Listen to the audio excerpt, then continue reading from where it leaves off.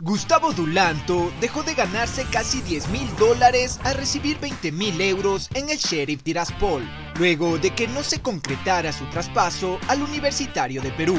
Equipo que lo quiso tener en sus filas, pero por culpa del entrenador Miguel Ángel Comiso, las negociaciones no llegaron a buen puerto.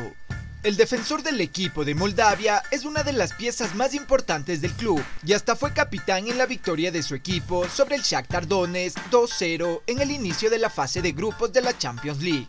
Sin duda alguna, la no llegada de Dulanto a Universitario fue de las mejores cosas que le pudo pasar en su vida, ya que ahora es una de las figuras de los moldavos y está en un tremendo grupo en la Champions League, junto a Real Madrid e Inter de Milán. Sus destacadas actuaciones también lo llevaron a tener la atención completa de Ricardo Gareca, quien ahora está decidido plenamente a convocarlo para la selección peruana y de ese modo defender la camiseta del equipo de su país en las eliminatorias sudamericanas. Todas estas buenas noticias empezaron cuando el entrenador de Universitario decidió que no era un fichaje necesario el de Dulanto, y cuando una puerta se cierra, mil más se abren, tal como le pasó a Gustavo. El Sheriff Tiraspol sí vio las condiciones que podía explotar con el defensor peruano y apostó a ojos cerrados por el jugador.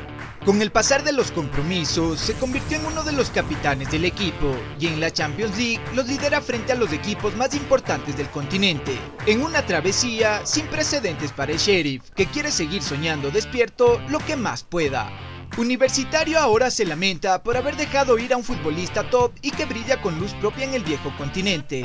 No cabe duda de que hubiera sido un refuerzo de lujo para el campeonato nacional y los hubiera ayudado a buscar el trofeo de campeón.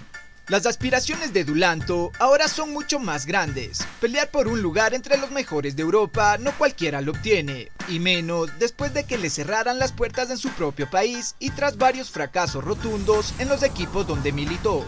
Gustavo ahora gana mucho más dinero, tiene ilusionados a todos los aficionados en Moldavia y sus compañeros confían en sus condiciones defensivas para que sea él el bastión que necesitan para ir en búsqueda de la gloria europea.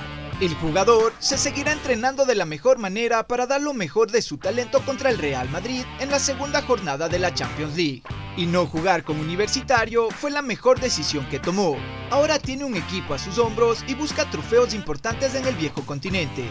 Sheriff sorprendió a todos desde la fase previa de la Champions League, pero no se conformó con eso y de la mano de Dulanto quieren llegar mucho más lejos.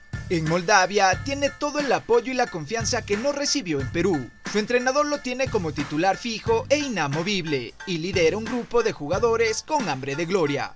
Los hinchas de Universitario seguramente están lamentándose de ver al jugador brillar en la Champions League y pensarán que pudieron tenerlo en sus filas este año. ¿Y tú, crees que Dulanto podrá llegar lejos en la Champions League? Te leemos en los comentarios, dale like y síguenos para conocer toda la información del fútbol. Y recuerda que somos el futbolero, el sitio del hincha.